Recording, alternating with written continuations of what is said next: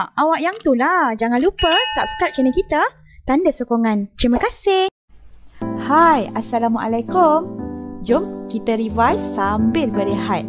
Sambil berehat pun, kita boleh belajar tahu dengan tengok handphone. Apa tunggu lagi? Jom kita mula. Okay guys, dalam video kali ini kita akan tengok berkaitan dengan uniform circular motion in vertical plane. Kita akan tengok tiga contoh berkaitan dengan motion in vertical plane. The first one is a ball is swung in vertical circle. Okay? Contohnya dalam gambar ini you ada tali and then you ada mass of the object and then the object will rotate in a circular motion and the position of the object will be at the top and at the bottom of the circle. Let's try to draw the free body diagram on the object. We start with the bottom part. So now let's draw the direction of the centripetal acceleration. Remember, when the object is moving in a circular path, the direction of the centripetal acceleration always directed to the center. Okay? And then look at the position of the object at the bottom of the circle. So the first force that we have on the object is tension. Sebab ada tali. So kita labelkan the first force is tension and the direction is upward. And the second force is the weight of the object. Okay? Where the direction of the weight is downward. So now let's write the equation when the object is at the bottom of the circle. So as usual, we write total FC equal to MAC. And then look at the free body diagram. Okay, force apa yang sama direction dengan AC? Dah tentunya adalah tension.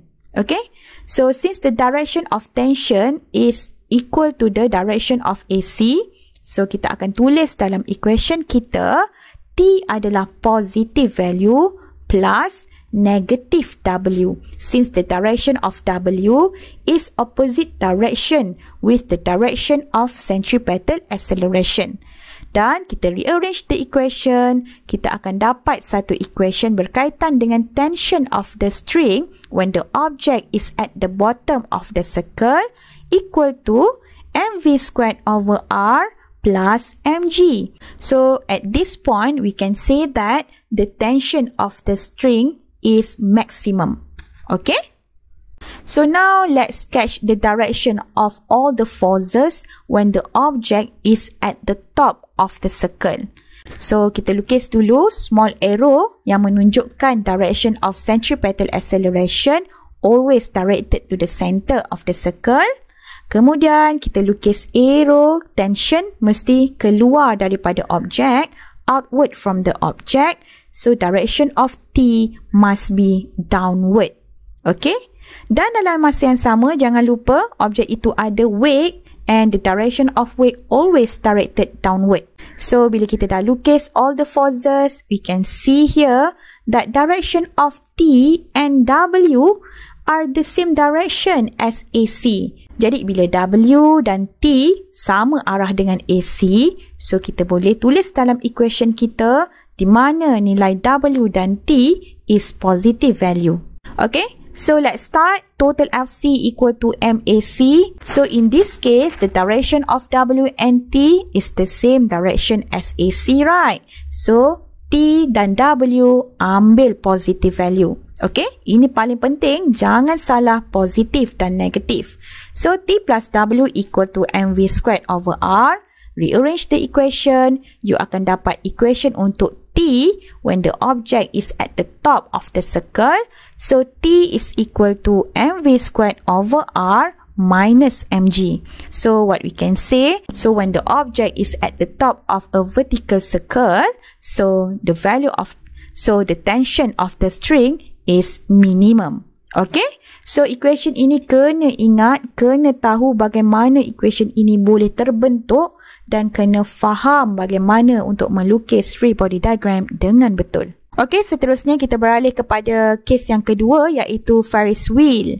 Jadi bila cerita pasal Ferris wheel mesti teringat fun fair kan? Pernah naik ke? So now look at this diagram. Let's say dekat sini kita ada seorang budak namanya Ravi. Okay, Ravi naik Ferris wheel. So before that, let's sketch the direction of the centripetal acceleration. So the direction of the centripetal acceleration always directed to the center. So same as before, in uniform circular motion which is vertical plane, so we will focus at the top and at the bottom of the motion. Okay, sekarang kita akan mulakan dengan bahagian top of the Ferris wheel. Okay, so make sure you draw all the forces. So kita akan ada weight which is equal to mg and the direction is downward. And then we gonna have normal force sebab Ravi duduk di atas seat Ferris wheel tersebut. So the direction of the normal force must be upward direction. Okay, so bila kita tengok pada bahagian top of the Ferris wheel, so we can see here that the direction of W is the same direction as centripetal acceleration. So, bila kita tulis equation total FC equal to MAC, W is positive value plus negative N. Okay, jangan terbalik. Tengok direction W at the top of the Ferris wheel, direction W yang sama dengan direction of centripetal acceleration. So kita kena pastikan that W is positive value and normal force is negative value since the direction of the normal force is opposite direction with AC. Okay? And finally, we're going to have equation of n equal to w minus mv squared over r. And when the person at the top of the Ferris wheel, we can say that the normal force is minimum. Sekarang kita tengok pula bila Ravi berada at the bottom of the Ferris wheel. Okay, so you must draw all the forces. So kita ada weight direction dia downward and normal force direction dia upward. Jadi bila Ravi berada dekat bahagian bawah of the Ferris wheel, so kita boleh lihat that the direction of the normal force kali ini same direction dengan centripetal acceleration. Jadi bila kita hendak tulis equation total FC equal to MAC, nilai N is positive since direction of N dengan AC is the same direction when the person at the bottom of the Ferris wheel. Okay, so W pula yang akan jadi negatif because direction of W is downward tetapi direction of AC is upward.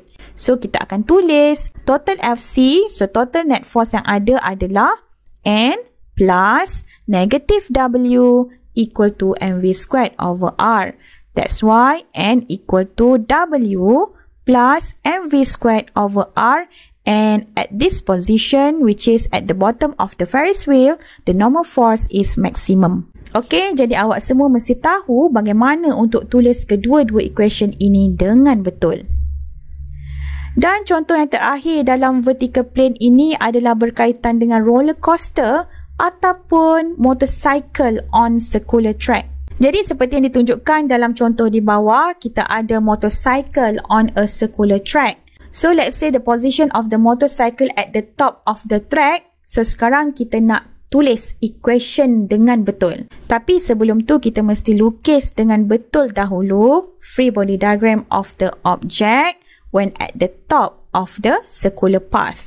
Jadi force yang pertama sudah tentunya normal force. Okay, since kita nampak okay, ada contact between the surface of the track and the motorcycle, so the normal force is downward.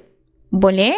Dan yang kedua adalah weight. So the direction of weight always downward. Jadi untuk kes ini kita ada dua daya di mana arahnya adalah ke bawah.